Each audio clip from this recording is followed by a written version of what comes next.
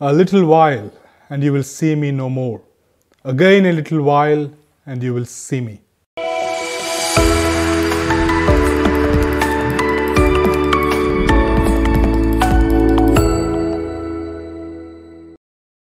Dear brothers and sisters, a little while, and you will see me no more. Again, a little while, and you will see me. What does our Lord mean by a little while? St. Thomas Aquinas gives us three interpretations of this phrase, a little while. Firstly, in relation to his death, it refers to the time when they would see him no more. Death would take him away from them, but they will not be sad because the time that they would not see him would be a little while, and then he would rise from the dead and come back to them. Secondly, in relation to his mortal form, it refers to the time before Christ's death. So that the meaning is, it will just be a little while until I am taken away from you. And then you will see me no more, that is, in mortal form. But the disciples will see Christ immortal after the resurrection. And thirdly, in relation to eternity, it can refer to the time of our entire life until the judgment, and then we will see Christ at the judgment in His glory. It is called a little while when we are here, and then comes the death and life eternal. These interpretations have some important messages for all of us. That our life here on earth is but a little while. It is so short compared to the eternity with the Lord.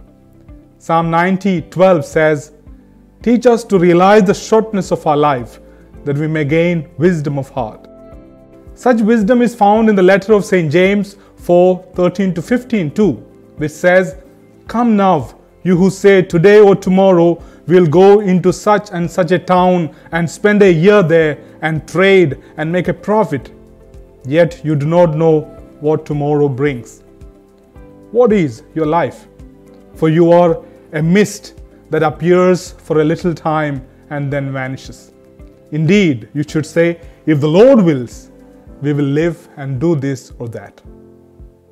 Secondly, that our death is also a little while because we are all children of heaven.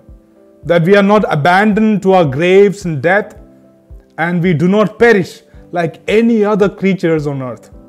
Christ's victory over death is our victory. St. Paul says in Romans chapter 6, verse 8 and 9, But if we die with Christ, we have faith that we will also live with him. We know that Christ has been raised from the dead and will never die again. Death no longer has power over him.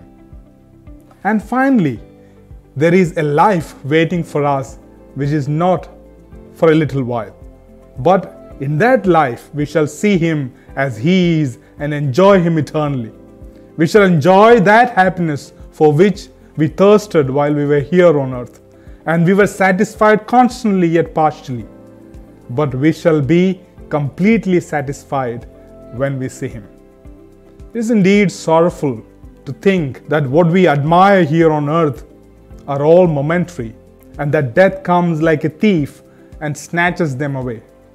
But for those who live in the Lord, their sorrows will turn into joy because He will see us again.